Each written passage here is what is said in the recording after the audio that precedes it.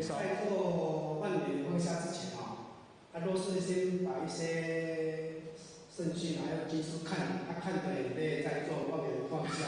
那时候一下子就很累就想睡，他是会不敢睡，刚躺下去又在练，他练到一下子就不知道就睡觉，这样这这方法正确吗？好，请说。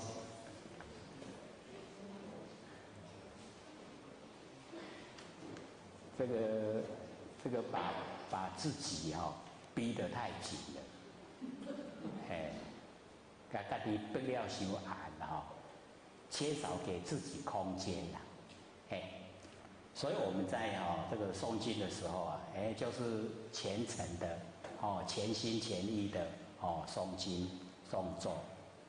那你要做万年放下的时候啊，最好就是在精神饱满的时候。那假如说我们哦一做万年放下，哎就哦昏昏欲睡啊，这个时候哦就睡，哎先哦睡觉，哦等到呢我们醒过来以后啊，那个已经哦精神又来了，哦饱满了，那个时候来做，哦因为呃万年放下是要认识我们不生不灭啊，哦那个佛性本体，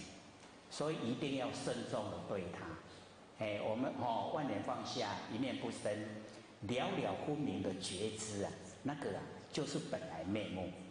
哦啊，所以那个本来面目啊，哎，我们很久都没有哦认识它了。哎啊，所以要认识它呢，就是要很哦精神好的状态之下。哎啊，认识了以后，因为要哦让它结成圣胎。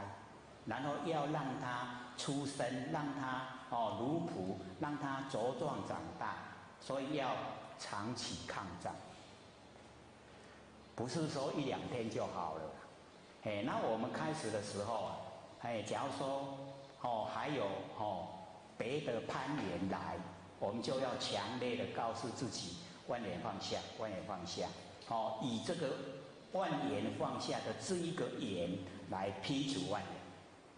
然后做了一久，时间一久了以后，你自然一进入以后，不要万不要告诉自己万年放下，它就自然的万年放下，已经到达，哎，能够体悟啊，哦，了了不明的觉知，哎，那个佛性本体啊，哎，都已经啊呈现了。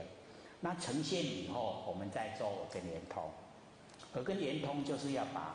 哦局限在身上的佛性啊延伸出来。那延伸出来以后，让它整个空间，哎，真空妙有，都有活性本体了，哎，还要再培养一段时间。然后我们这样一直做了以后，它慢慢的第六感啊就很敏锐，